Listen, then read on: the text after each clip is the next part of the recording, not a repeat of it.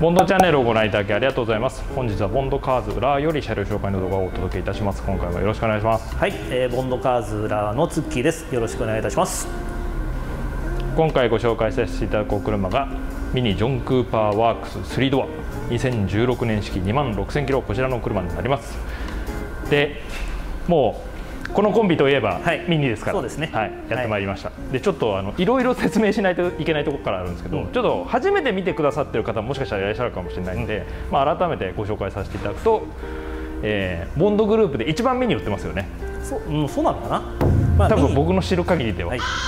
もともとミニ乗っててボンドの客だったっていう 経歴もありますよね。で、はい、現ミニオーナーでもある。そうですね、はい。はい、月村セールスとあと7年ぐらい、はい、ミニのメカニックをやってた、えー、ツッチーパフォーマンスでお届けいたします、はい、で今回この紹介するミニなんですけども見たことあります、うん、そりゃあるでしょう、はい。はい、なぜならば。ボンドグループの、えー、ミニの専門店、はい、ボンドミニのデモカーだった車なんですね、ね、はい、はい、なんで結構いろいろいじくってあるっていうふうに聞いてあるんで、うんはい、ちょっとその辺今回掘り下げていきたいなと思います。で、ね、まあ、一応メディア等の、まあ、お披露目が終わってお役目ごめんということで、まあ、今回ボンドグループでなるほど、はい、販売させていただこうというお車です。在庫車両として放出された個体なわけですね、ね、はい、はい、で今回ご紹介するのがこれ前期型いわゆる、はい、はい、ただいろいろ改造してあるみたいで、うん、エンブレムなんかは後期のフロントは後期のものに変わってる、ねはい、途中からですねモダンなこうシンプルなデザインにそうですね。エンブレムごと一新されてで真っ黒黒の純正の設定が出たんで、まあ、おそらくそれに交換したんじゃないかなと、はい。こんなのになってたりとか。あとは前期後期で結構ヘッドライトなんか違いますけどどうですか月村さん？うん。どうなんですかね。まあ後期のあのパチンとこうデイライトが丸くてウインカーも丸くてみたいなのが新しいのが好きな人はいいかもしれないですけどね。そんなにこだわらないです私 まあ確かに後期ここがつながってますからね、うんうん、はいちょっと新しさありますけどでも全体的に見に行ってマイチェンしてもこう前期が古く見えないのいいとこですよね。そうですね。大きくは見た目変わらないですからね、この F 型に至っても本当にそこだけあと中のプロジェクターの形がちょっと四角っぽくなるでしょ、う。ん、そうですね。はい。なこれ標準のヘッドライトなので、まあ、中はこうちょっとシルバーとグレーと形で、ね、アダプティブではない、はい、アダプティブだと中が黒くなる。ちょっと黒っぽくなる、はい、だと F 型からは漏れなく、L、あのジョン・クーパー LED なんで、うん、はい先代だと HID じゃないですか。そうですね、はい、だからまあ性能だったりだとかについても申し分ないかな、はい、あと今回お車は、えー、ジョンクパースってことで専用のエンブレムとあとモールが赤くなってたりとか。そうですね、はい、もうここはお好きな色にどうぞって感じですよね。うん。まあこのバランスだったらこのままでもいいかもしれないですよね、はい、まあ外して塗るもあり他のグレードのメッキにするもあり、うん、まあ、あとは車外なんかでかぶせるタイプのものなんかもありますので、ね、はいまあ、差し色決めて好きな色っていうのもいいんじゃないかなと、うん、であとは結構ここ劣化出ません、うん、白くなっちゃうんでね。そうなんですよね。これも若干。そうですね。この下が少し日焼けして、これ最近のなんか欧州車多いですよね、うん、なんでまあこの辺は。でも結構白くなるパーツ多いしね。よく出てますよね、うん、まあ、この辺もし気になるようであれば、まあ、新品交換してリフレッシュだったりとか、まあ、あと塗っちゃうなんていうのも手かなっていう。ですね、はい、こんな感じになっております。あと今回ジョン・クーパーなんでバンパーも専用の。でもこれ結構見比べないと分かんなくないですか、うん、あの僕らはもう詳しいじゃないですか。ジョン・クーパーのバンパーって感じですけど。あの通常のクーパー S とかのモデルよりかもここのブレーキダクトとかこの辺の張り出しが大きいですよね、うん、はい、ちょっとアグレッシブな感じで。でさらにアグレッシブさを求めるんであればこの両サイドのこの部分がオプションで借り出たものなんかもあるんで。出てますからね、はい、はい、まあ、そういったものなんか選んでいただくと、まあ、多少カスタマイズもできるのかなと、うん、はい。まあ、あとは本当にいろんなもの出てるじゃないですか、うん、見に行って、うん、だからもうノーマルで乗るもよしなんですけどアフターパーツのパーツをこう自分で好きに組み立てて、まあ、ちょっと個性的に乗るっていうのがやっぱりちょっとこう一つの楽しみ方の、ね、まあ、ミニはそういう楽しみ方ができる車ですからねそしてそのパーツそれぞれがそんなに輸入車にしては高くない。そうなんですよ。国産車をこうちょこっといじるような感覚でカスタムできるんでいいと思いますけどね。すごくいいところですよね、はい、はい、こんな前回りになって。あとオプション関係でいうと今回の車は割とこうシンプルオプションというか、うん、特に特段こういろんなオプションついてる満載の車ですよっていうよりかは、ね。うん。もう本当にポイントを押さえた感じの。メーカーオプション的なのはそれほどないですかね、はい。うん、そんな車になるみたいです。であとは横に回っていきましょうか。こちらから。ちょっとここだけでもあのお買い得さが半端ないと思います。はい。はい、もう当然ガレージ店、えーボンドミニのデモカーでしたから足元がなんと単造ホイール。はい。BC フォージとですね。これもだって買ったらかなりしますよね。そうですね。もう。なのでまあいろいろこう見ていくとあれお得じゃんっていう車ではありますけどね。はい。でこれの18インチですかね、はい、でタイヤのサイズに関しては純正と同じ、えー、2054018、はい。こちらが装着されてございます。製造年が2020年。25周去年。そしてもう2054018だと選択肢がほぼないですけれども、その中でも一流品のミシュランがはい。チョイスされてるあたりがやっぱりこうグループの店舗だなっていう感じがしますでこの車高の具合がボンドミニって感じですよね。そうですね、はい。ちょっとあの行き過ぎちゃってる一歩手前 はい。ちょっとこれ相当分かってる人じゃないとこれ乗れねえだろうっていう、うん。はい、普通はここまで低くしないですね。そうですね、はい。もうちょっと上げた方がいいかなっていう気がします。まあそれはもう若干もうちょっと上がるのかな？であとは、あのー実際多分車両原車見ていただくと多分気になる方は気になると思うんですけどフロントとリアの出面が、若干。はい、若干差がございます。ここはちゃんと僕正直にいきます。はい。はい、これはですねミニの車の構造上リアがローダウンした時にキャンバーの付き方がうん。きついんですよね、フロントってストラットなのでほとんどキャンバー変化ないんですけどリアがマルチリンクなんで、まあ、ローダウンした時に急にこうググググってタイヤが寝るんですよ、でもちろんオーダーなんで前後オフセット違いなんていうのもできるんですけどそうするとローテーションができなくなっちゃうと。うん。はいということで多分今回はあえて4本通しで製作して通しで。うん。吹かしてんじゃないかなと。だもし気になるようであれば、まあ、フロント、まあ、ショック交換してキャンバーつけるないし、ん。まあ、リアを起こすないしリアにスペース入れるないし、うん。っていう履き方もいいんじゃないかなと、うん。はい。まあ、特に今回ローダウンがちょっときつめなんで、まあ、そんな感じの。ただフロントもツラツラですね、そうですね。はい、こんな感じのフィットメントになってこれは何で車高下がってるんでしたっけ？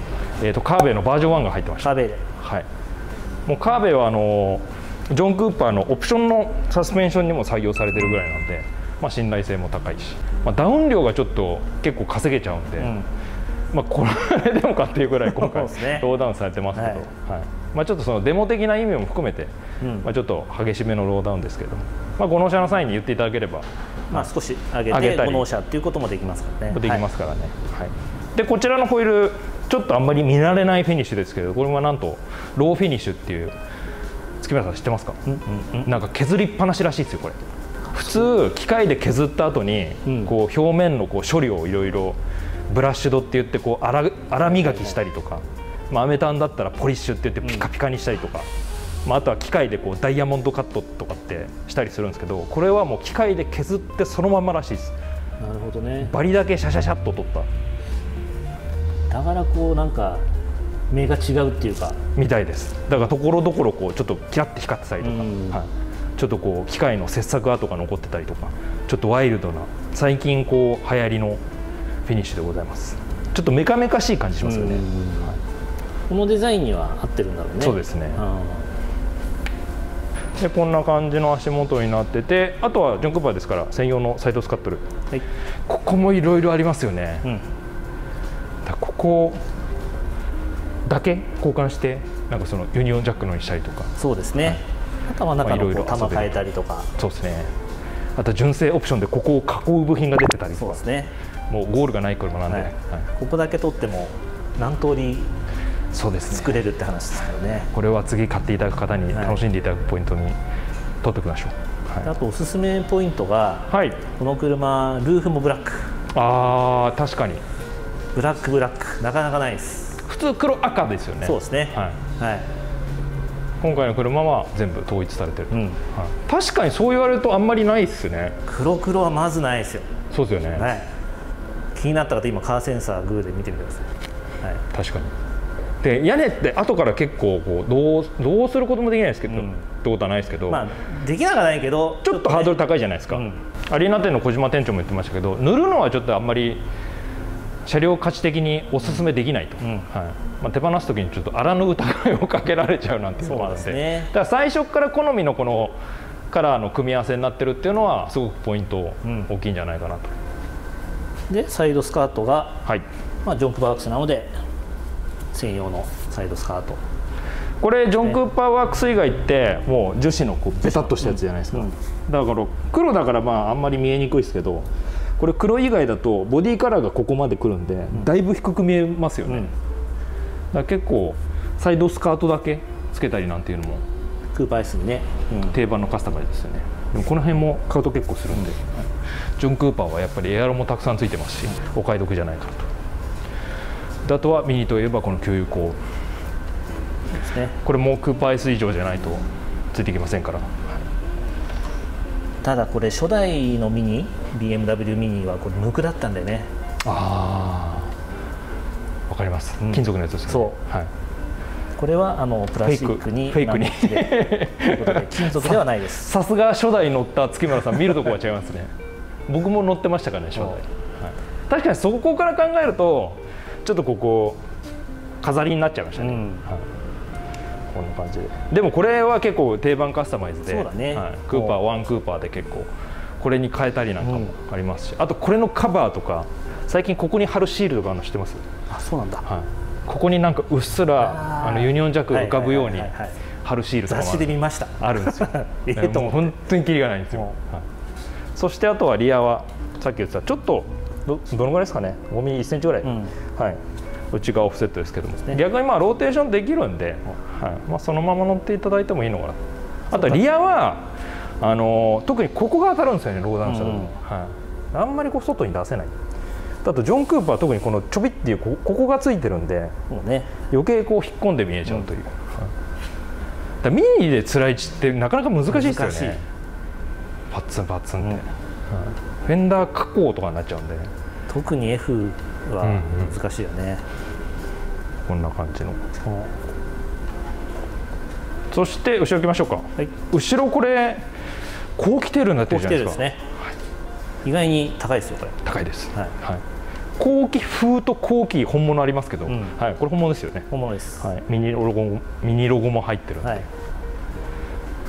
パッと見わかんないですけどよく見ると、はい、後期本物の方が、うんなんかこう作りもしっかりしてて、そうそうそうはい、裏側なんかも全然違いますけどこれ光り方がね違うんであえて車外選ぶ人もいますけどですねであとはジョン・クーパーなんで当然リアバンパーも専用のものにここが違うんですよねそうですねここが、はいはいちょっとアグレッシブな形状でマフラーもいいのがついてるじゃないですか、はいデムスはいこれはさっき僕ちょっとエンジンかけましたけどおそらく前から後ろまでですね。はい。ついてますんで。はい。でしかもリモコンついてるんですよね。リモコンついてる。ついてますよね、はい。なんでオンオフで、まあ、TPO に合わせてボリューム調整ができると。こんなマフラーが装着されてございます。であとはまあアンテナがショートアンテナになってるあっていうところですね。本当だ。さすが月村さん、はい、これもまた何種類も、そうですね。もう長いのから短いのから、はい。折れるのからいろんな形がありますからね、はい、もうこれもご納車の時に言っていただければ、うん。ご希望のものをご用意してまたねそうですね。はい。取り付けさせていただきますのでお気軽にお問い合わせください。じゃあ続いて内装を見てみたいと思います。こちらのお車はコンフォートアクセスなしということで。なしではい。キーレスで開けていただく感じになります。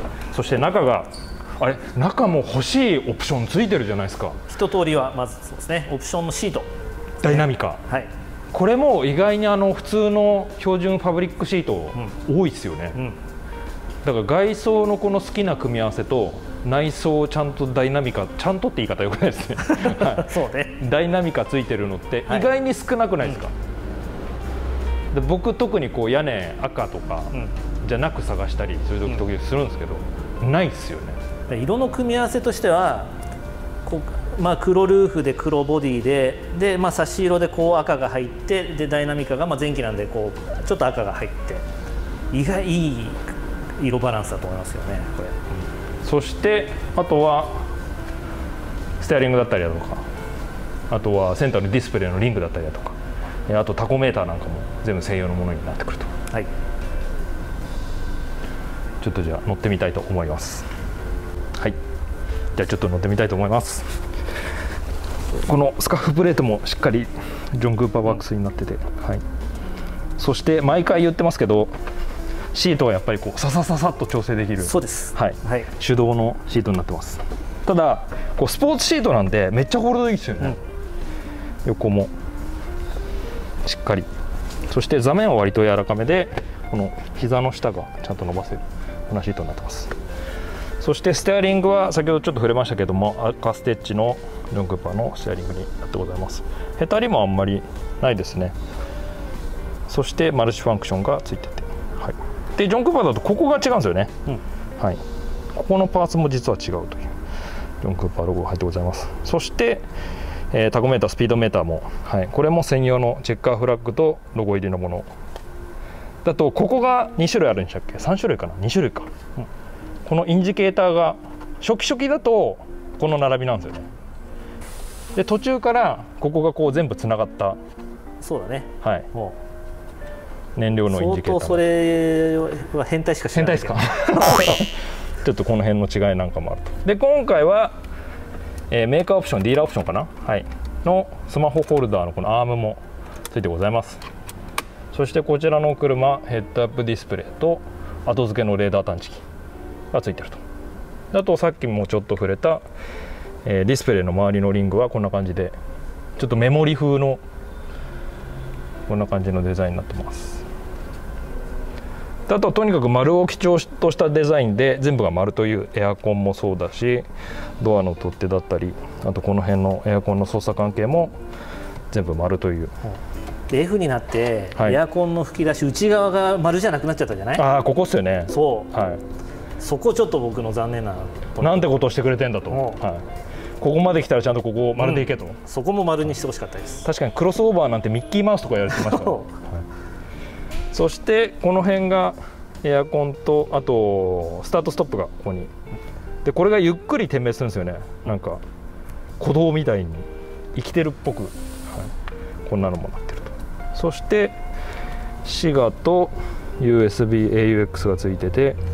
あとこの中身に関しては基本的にはナビだけ。うはい。はい、でメディアに関しては基本的に USB だったりのつなぐものとあとラジオがついてございます。でこれも必要であればえ地デジだったりだとか DVD プレイヤー DVD プレイヤーだったりとかっていうのを後付けすることも可能です。そして今回これじゃないですか。はい。やってまいりましたマニュアル。男のマニュアル。しかも、シフトが、短い。はい、これ僕あの確認する前に気がつきました、はい、あれ短い。そして硬い、はい、ショートシフト付きのマニュアルミッション。マニュアルも原稿なくなっちゃいましたからね。そうだね。はい、これだけでも買う価値があるんじゃないでしょうか。そして当然のハンドブレーキ。アームレストなしでございます。なしで男のマニュアルは。マニュアルちょっと邪魔になっちゃいますね。邪魔ですね、はい。やらないと思います。そんな感じの仕様になってございます。そして今回ボンドミニ一押しのこちらが装着されてございます。助手席側のディスプレイ。なんかこうフェラーリの812みたいじゃないですか。パッセンジャー、なんだっけ？モニターインジケーターだっけ？インジケーター、はい。これでいろいろその車両の情報が出せるようになってると。これもだって買ったら結構しますし、うん。はい、助手席の人も退屈しない？そうですね、しない？うんよくわかんない。ですけど。数字がちょこちょこちょこちょこはい。動くので、ちょっと賑やかな感じの助手席になっております。であとはジョン・クーパーなんでここから上がちゃんと黒いという、うん。こんな感じの。ピラー天井全部黒い。だから全体的にインテリアがかなり引き締まったインテリアになってますこれわざわざ変えて黒くする人とかもいいますからね。そうだね、はい、僕です、はい、変えたよね。変えました。う。んもう部品点数半端ないんですよ。ピラーカバーとか。キラーかはいらバイザーからスイッチからでもこれやるとだいぶ違いません、うんうん違う違う。はい。まあ、これがジョン・クーバーだと漏れなくこの黒天井黒ピラーになってくるんでかなりおすすめです。であとペダル関係は車ちっちゃいのに足元結構ゆったりですよね、見に行って。タイトじゃないですよね、でフットレストも割と大きいんで、まあ、運転しやすい、はい、こんな感じのインテリアになってます。じゃあ続いてトランク見てみたいと思います、はい。トランクこの平らになるパッケージがついてるじゃないですか。そうですね。正式名称なんだかわかんないですけど。なんだっけこれも高さ2段なしはい。引く、はい。あとこもう一段上ですよね。うもう一段上の高みたいな、はい。でできちゃうとこれ意外に便利ですよね。意外に便利。はい。で私自分の車で新車の時にオはい。ーダーし忘れて、後からつけようと思ったら5万ぐらいかかるって断念したという。これあれなんですよ。ここごと交換なんですよねね。確か。この部品が違うんですよねもうそもそも。板だけ買ってもできないという、だできない。からもうこの辺はついてたらありがたい。あしたことないパーツですよ、そしてあとはシートなんか倒せますから割とこう容量いけますよね、僕メカニック時代はあの冬用のタイヤホイールなんか取り替えた方とか、はい4本普通に積んでうんうん帰られたりとか、ゴルフバッグ積んでゴルフ行かれる方とか。そうそうそう、はい。意外にね使えるよね。街乗りこのサイズで、まあ、必要な分だけはうん。容量確保できるんで、まあ、意外に使いやすいと。あとここでこう少しスペースを稼げたりとかあシートをちょっと直角シートにしてですよね。ね。はい、これでリアシートの背もたれの傾きを変えてあげれば。そんなのもできると、うん。だからなんかちっちゃいなりにめちゃめちゃ考えられてますよねね。ミニって。普通こんなのでつつけないでしょ。確かに。でもそれがあるだけでだいぶ違いますよね、人乗せつつそうね。ちゃんとこうトランクの容量がアップガツンと倒しちゃうとまた暴れちゃうし、うんうんでももうちょっと容量稼ぎたいっていう時は意外にこれ使えるんですよねこんな機能がついております。じゃあ続いてエンジンルーム見てみたいと思います。エンジンルームがえー 2000cc231 馬力一馬力31馬力です。よよかったすごくないですか？暗記してた、はい、俺今回資料何も見てないですよ、はい、231馬力ここがなんかちょっとミニじゃなくなったって言われるとこかなっていう気がします、まあ、ボディサイズもそうですけどなんかちょっとこう 2000cc1600 がこうずっと続いてたじゃないですか。そうですね。はい、でここに来て3ナンバーになり、ボディ大きくなりエンジンも 2000cc になったと。ただこう走りはもうめちゃめちゃトルクフルになりましたよね、うん。特にジョン・クーパーとかってもうこれ何もしなくていいぐらい速いですよね。そうだね。まあもちろんさらにチューニングして速くするメニューもありますけど、うん。でターボなんでいくらでもね早くしようと思えばそうなんですよ。まあ FF だから限界はあるにしても、だって限定のあの GP なんて300ぐらい入れてるわけじゃないですか。もうとんでもないですよね、あともう一点僕あのおすすめポイントとしては F 型から信頼性がぐっと上がってません、うん。まず壊れない。あのエンジンが BM と共通になったんですよね、それまではこう専用のものだったりとか、ね。他メーカーの供給のものだったりしましたけど、この F 型から BMW の供給のいわゆる3シリーズとか、えー、あ3でしたっけ？あれ2か。にはい。一。うん。2シリーズとかにも積んでるエンジンになってるんで、まあ、信頼性がぐっとやっぱりパイがでかいからですかね、はい、感じになってると。でエンジンもこれいじり出したらきりなくないですか、キリがない。本当に。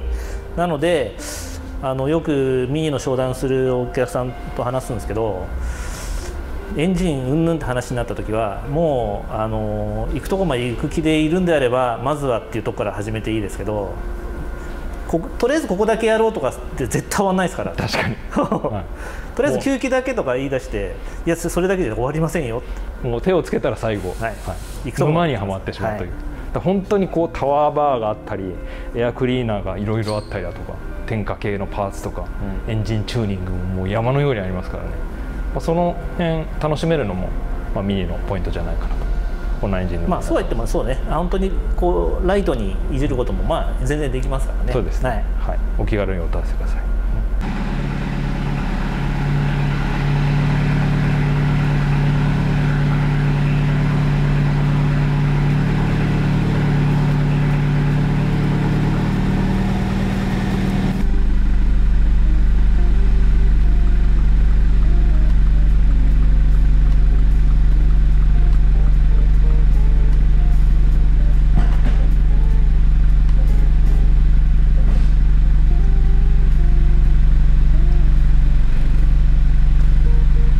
続いてマフラーの音も聞いてみたいと思います。お願いします。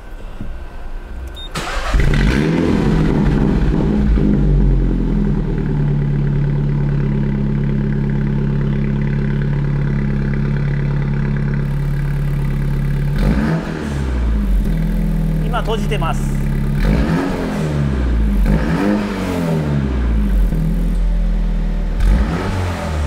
これが全閉じ？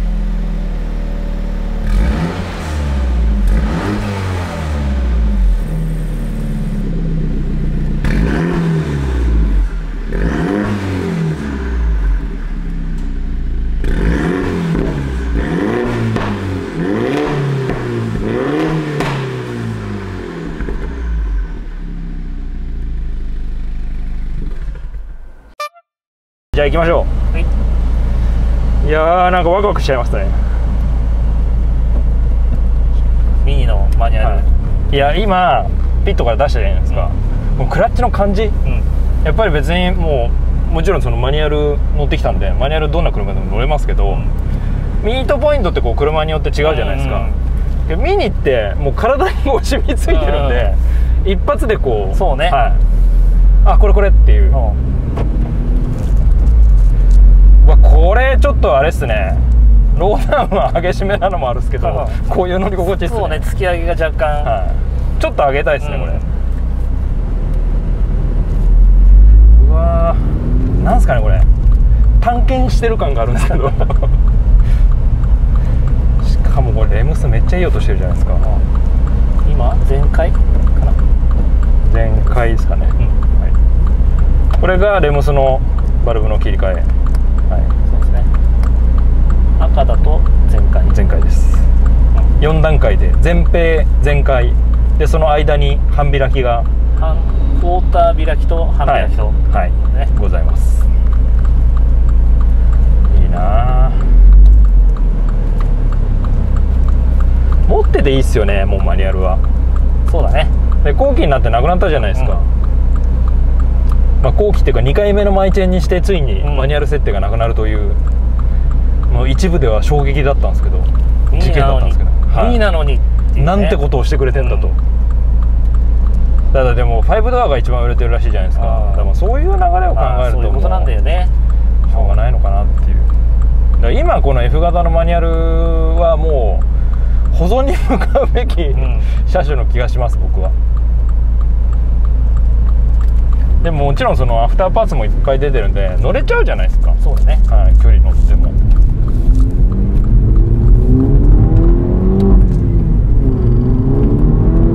はい。こんな早かったでしたっけ？こんな早かったでしやってんかな。わかんないです。めっちゃ早いですよ。えこれコンピューターチャーニングしてあるんじゃないんですか？あなんかやったっつってたっけ？わかんないです。めっちゃ早いですよこれ一応ねあの、、はい。じったリストをよこせって言ってある状態なんだよね。あそうなんですか。えこれだいぶ早いですよ。うん。早い。早い。まだだいぶ早い。まだちゃんと踏んでないから分かんないねい。やちょっと FF であんまり早いとん。危ない、そうね。も いやちょっとこうトルクステア気味にこうおーおーってなるじゃないですか、まあ、それ楽しいですけど、うん。あの4区みたいなこうどこまでも踏んでいける感じというよりかはもう自分の技量必要だなみたいな。そうね。は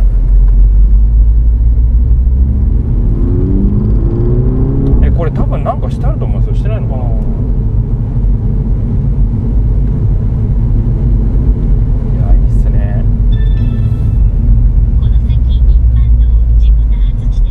だからもうなんかバックカメラついてなくても、うん。なんかシートが手動でも、よくないですか？よくよいいです。全然いいです。だってステアリングも手動ですからね、でもちゃんとチルトとテレスコ両方ついてるんですよね。そうね。で意外にはい。あの動く量も大きいから。あそうなんですよ。なんでね。だってテレスコなんかってけうん。結構前に来ますよこれ。だからもう純正で結構超レーシングポジションみたいにできますよねめちゃめちゃこうシート後ろに下げて。え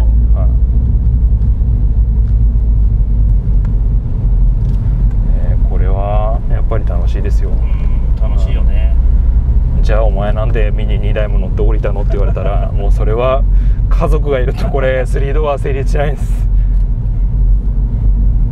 でもいらっしゃいましたよ。あのーメカニック時代うん。こうファミリーカーと使っして使ってる方。あ特に5ドアとあのクラブマンが大きくなってからものすごく増えましたよね、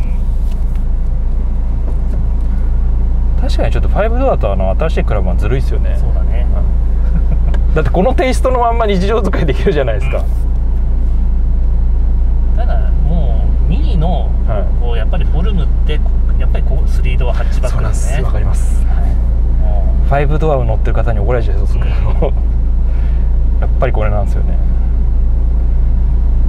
うそうなんだよねこのパッケージングですよね。もこの後ろ後ろにシート下げたら後ろの人の足元がゼロになるっていう。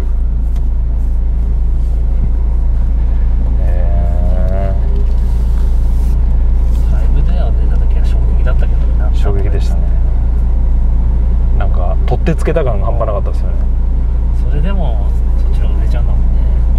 いやでも僕やっぱり5ドアいろいろ触らせていただく機会も多かったですけどこれはでも売れるわと思いましたよ。やっぱりこうファミリーユースとして使うのの一番こうハードルってドアの枚数じゃないですか。そうだね。もう2ドアの時点でもう3人以上家族の時点だともう NG っていう方も少なくないじゃないですか,、だそれがやっぱりあのフォルムのまんま、まあ、ちょっと間延び感ありますけどうんドアが4枚ってやっぱり最強だなっていう。一時期セダンとかって話もありましたよね、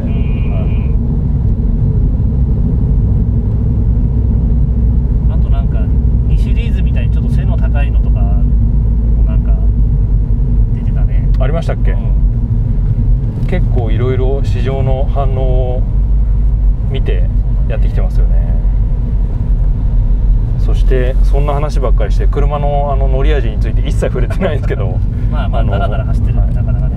シフトはもう止まってる時に操作した以上に、うん。あのめちゃめちゃクイックっす、うんこんなにレーシングカーじゃんっていうぐらい。なんかもう下手したらポルシェとかより、うん。はそうだね。走らせるとはこれ感じるよねそうっすね。ショートシフトは、い、でこれまたいいのはこのここの首のところネジがついてるんで、うん。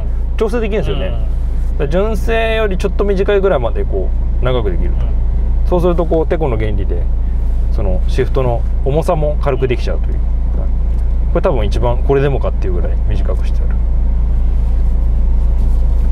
そしてステアリングはもう BMW の他のモデルと似てる感じのステアフィール。若干重めの。これ初代からですよね。そうだね若干重めのステアリングフィール、握りも太めで、そしてペダルなんかはこう使いやすい。クラッチも割とだから動作しやすいですよね、遠からず近からず、うん。扱いにくさない。重たくないし、全然だから国産車から乗り換えても全然違和感なくマニュアル乗れるちゃうというでトルクもあるので全然二足走そうなんですよそうなんですよ、は使えちゃうしねい、出足とか超楽ですよね。街乗りだったら全然二足走ってるけどね。推奨はしないですけどね、もちろん推奨はしないですけど、はい、あとはヘッドアップディスプレイがこんな感じで映るでしょうか。はい。こんな感じでヘッドアップディスプレイもついてるんで使いやすいと。はい。ございます。ドライブレコーダーもついています。音いいなあラガーでーンすればよかったですね。うんいいよいいよ。いいっすか？うん。めっちゃ音いい。バイパス混んでるから秋ガスか。気がせいきます？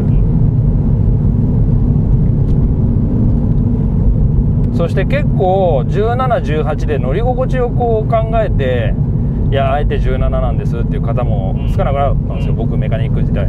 ただあのーまあ、個人的な意見ももちろん含まれてますけど、1718で乗り心地をこう悩むよりかもあのちゃんとしたタイヤで18インチ選んでいただいた方が幸せになれますよね、そうですね。はい。なんかこう17インチとかでちょっと安いタイヤとかはい。硬いタイヤ履くんだったら18インチのミシュランとか、うん。はい、ちゃんとグリップして乗り心地もいいタイヤ買っとくと見た目もいいし乗り心地もいいし、はこれいいっすね？賑やかで。賑やかでね、はい。夜になるとちょっと眩しいぐらい、ね、え？しかもこれ燃料のパーセンテージも出るんですか？恥ずかしながら僕があのミニのメカニックから YouTuber になってからこれが出たんで、うんはい、詳しく見るのは今日初めてでございます。こうやって動いてるの見始めた超賑やかですね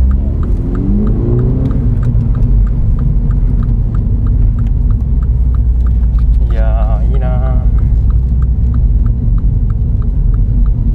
で基本のこの3回ウインカーとか、ん。ワンタッチの、うん。はい、もちろんついてますし。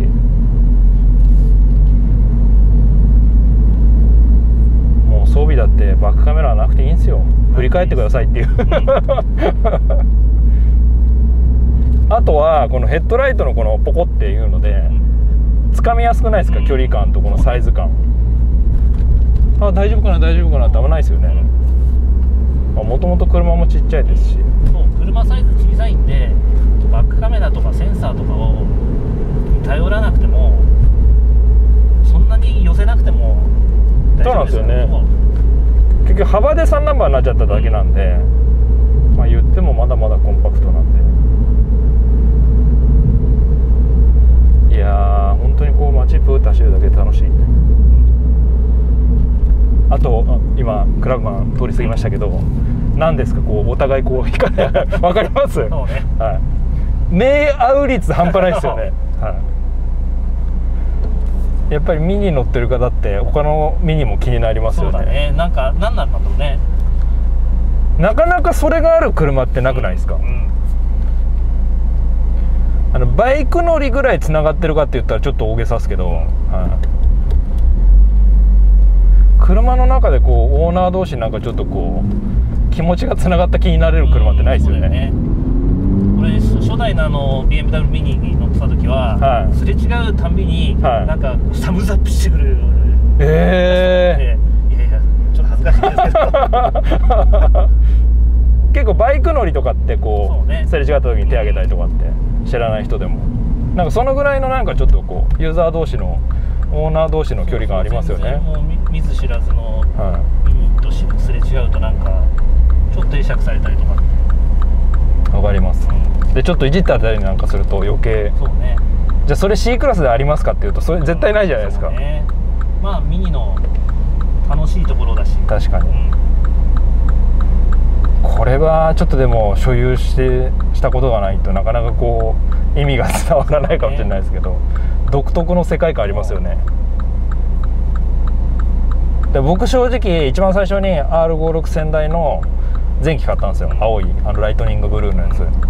あれを買った時は正直そんな別にミニに興味はなかったんですよ、うん。はい、そのメカニックをやることになったんで、まあ、自分で買って乗るのが一番こう車の仕組み覚えるのに早いだろうなと思って買ったんですよ。サイズもちょうどいいしその頃子供もいなかったんででそれからドハマりしましたよね。なんだこれはと。これはでもこう正直こう世代も40代50代、ん。60代多いじゃないですか、うん。分かりましたもんもう。いやそのぐらいの世代がこれハマるわと思って。だから結構こう子育て終わった世代の方とか、そうだね。はそう。で本当に高額車両、い、はい。まあ、高級車って呼ばれてる車をもう複数台持ってるようなお客さんでも、はい。ミニはミニで楽しんじゃってる人もいるんだよね。だからこう所得とか、うん、関係ないんですよステねータスとかっていうところとはまた違う車なんだよね、ミニっていやーいいなもうもう本当にローンでいっぱいいっぱいで買ってるような若い人もいればいますね。も奥さん用に買ってみたものうの。そうそう自分でハマってはい 自分用にもう1台買っちゃったとかはいお客さんもいたもんいますよね。こんなに個性的でちょっと独特の世界観のある車って他ないですよね。でキャラクターだけじゃなくてちゃんと車としても走りとしても。そうなんですよ。うん。見た目だけの車じゃないからね。そこだよねやっぱ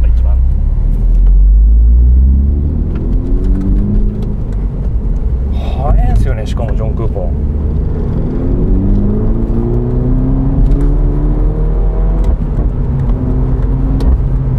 速い。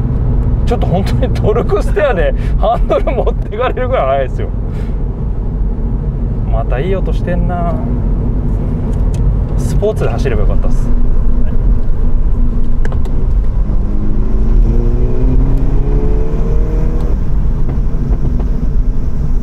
ちゃいい音してる。こうスポーツだとこのパンパンパンってアフターファイヤーが。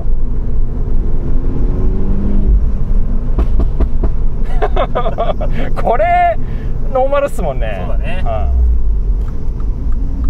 ふざけてますねなかなか。いやーいい車だ。確かこの方ジョン・クーパーは普通のオートマなんですよね。クーパー S が DCT でしたっけ？そう。はい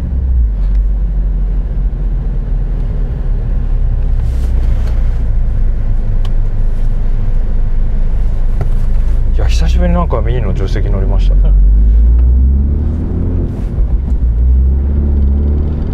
えー、やっぱりこの探検してる感半端ないですよ。なんか遊園地のこの乗り物で行動に出ちゃった感。そうね。はい。屋根こそついてますけど。かぶりオレとかもっと楽しいですよね。なんかやっぱりこう移動が楽しくなる車なんね。確かに。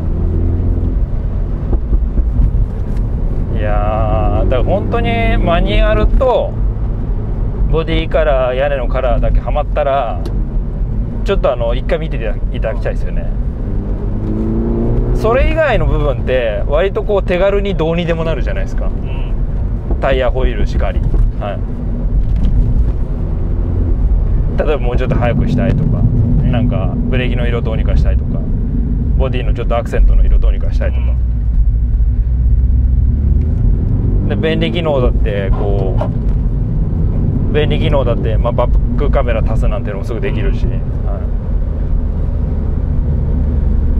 い、あとはシートが合わないっていうことであればもうレカロなんて定番じゃないですか。本当にゴールがないしもう自分の好きにできちゃうんで、値段のようにそれが意外に安いそうなんですよ。これじゃあ例えばポルシェでやろうとしたら、ね。やばい金額になりますよこれ。マフラー変えて車高変えてアルミ変えてって言ったらもう300400ってそうです普通にねいっちゃうからね車買えん。なみたいな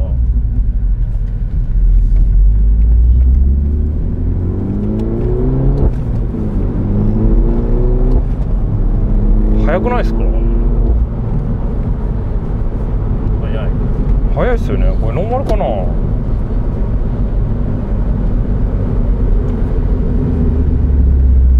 いやいでもいいや。マニュアル。いいっすね。楽しいっすね。楽しい。そして意外にこの車両情報でこんなのができたりとか、はい、こんな遊び心があるあとウインクしたりするんですもんね、そうね。はい。そ、メーターが。だってこれもあれですよね。いろいろこう回転数に連動させたりとか。うエアコンの操作でこう、はいはいはいはね、ちょっと反応したりとか。いありますよ。遊び心あるな。そして後ろちょっと紹介飛ばしちゃいましたけど後ろは正直褒められた広さじゃないですけどまあまあまあまあ。特に足元なんですよね、そうね。はい、ここが今運転席月村さんでちょうどいいぐらいのでこのぐらいのスペースなんで、まあ、ギリギリ大人の足が入るかな入らないかなっていう。これ下げちゃうとだって一番後ろまで下がっちゃいますからね。そうだね。ここまで下がっちゃうと。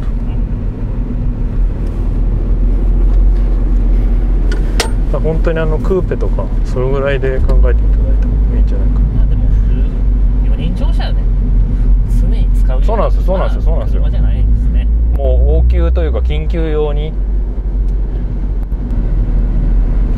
あとはメカニック視点であえてここがダメを言っといた方がいいですか？うん。そうですね。じゃあ僕メカニック視点でこのミニ多分乗られてる方はああそうそうっていう部分ですしこれから買う方は結構参考になるんじゃないかなまずはあのエアコンが臭くなる、うん。はい、これもう構造上あのエアコンのフィルターがあれなんですよね。ちょっとこう汚れやすいというか。結露した水がちょっとフィルターにつきやすい。ただこれは解決策がある、はい、ちょっとフィルターのその取り付け方とだとディーラーのプログラムでなんかこう出しっぱなしにするやつがあるんですよね、うん。風をだそれやるとかなり改善するっていう。もしくは、まあ、フィルターを定期交換、はい、していただけるといいんじゃないかな。だ結構エアコンから匂いが出るって言って、あのーまあ、インターネットなんかでもレビューで書かれてる方なんかも少なくない。であとはまだ車がまあうーんと5年6年はい一番古いやつでもそんな感じですか？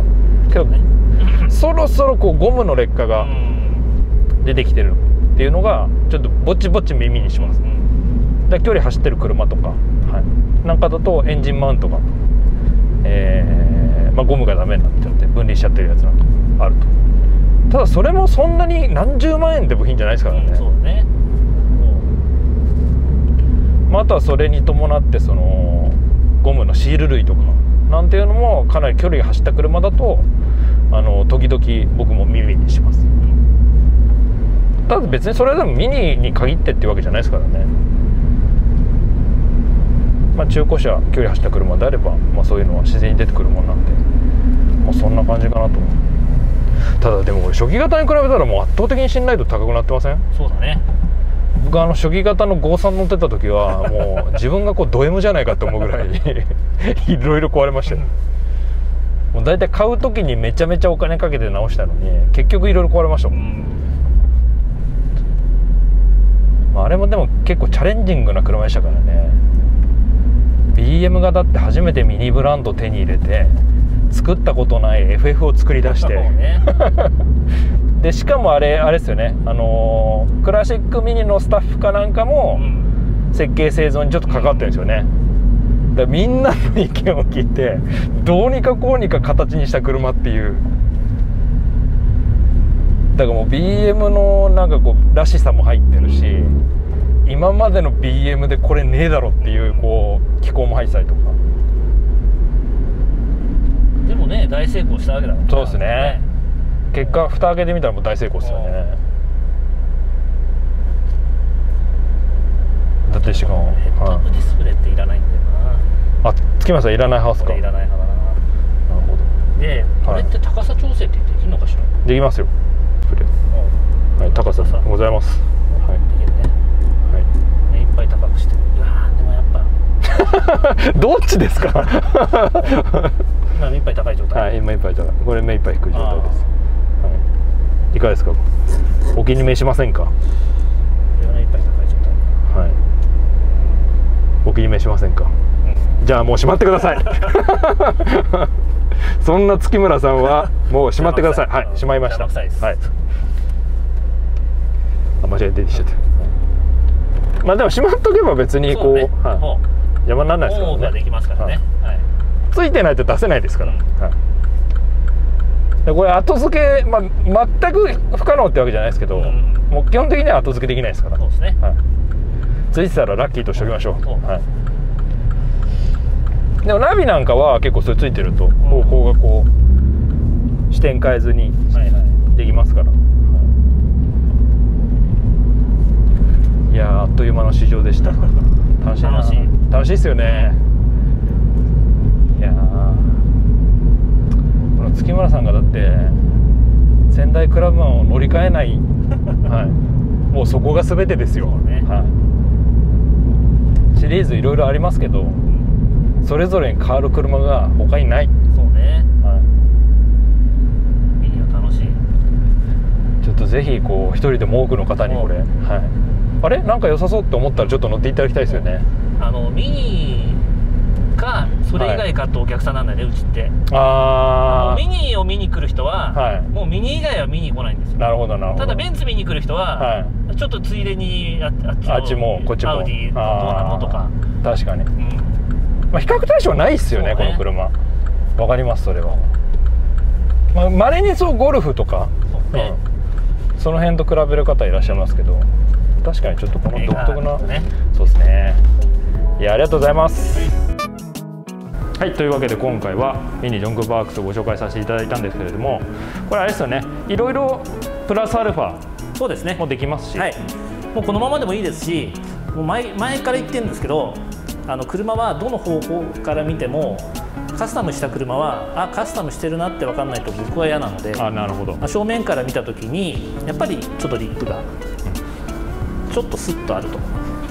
全方向からカスタムしてるなっていうのが分かる。ので確かに。まあ、おすすめですけどね、はい。はい。後ろなんかはこうマフラー変えてるなとかって分かりますからね。はい。まあ、そういったカスタムもお気軽にお問い合わせください、はい。車両の詳細は動画の説明欄よりご確認ください。最後までご視聴ありがとうございました。ありがとうございました